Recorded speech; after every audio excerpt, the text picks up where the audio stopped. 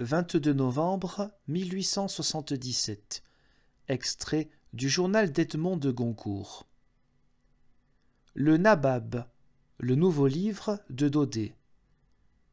Trop de condescendance pour les goûts littéraires du gros public. Trop de plaquage de vertu pour faire accepter la laide réalité. Trop de timidité. Plus tard, il s'en voudra de ce qui aide aujourd'hui son succès.